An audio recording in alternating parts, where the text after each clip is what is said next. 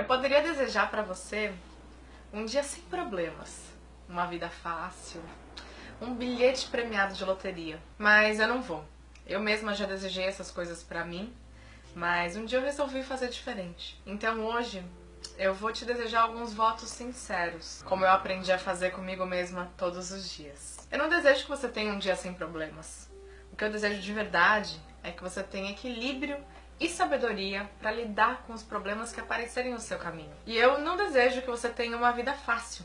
Eu desejo para você coragem e persistência para viver cada desafio, cada mudança, cada fase. E eu não desejo que você tenha somente um bilhete premiado de loteria. Eu desejo que você tenha muitos motivos para se reinventar para recomeçar ou até para se redescobrir quantas vezes forem necessárias, para que você possa descobrir realmente qual é o seu propósito e para que você possa ir se alinhando com a sua missão de vida e colocando ela em prática. E conforme isso tudo acontecer, você vai sentir lá no fundo da sua alma a sua alma enriquecida e de uma forma que não cabe em cifrões. E sim, que você prospere materialmente, não tem nada de errado nisso mas que você se lembre do real valor das coisas simples que estão à sua volta e que isso desperte gratidão em você todos os dias.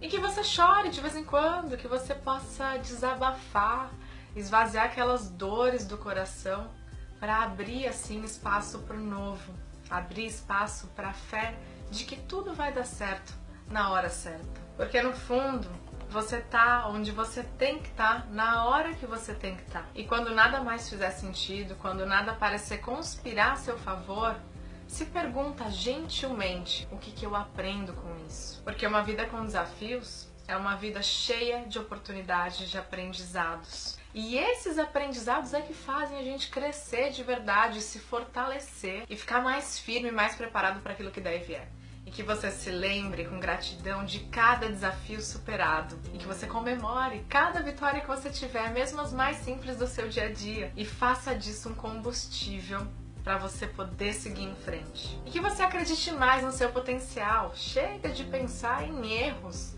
Chega de pensar em passado, você teve só resultados e formas de agir naquele momento. E bola para frente, o presente é agora, mas já já ele vai embora.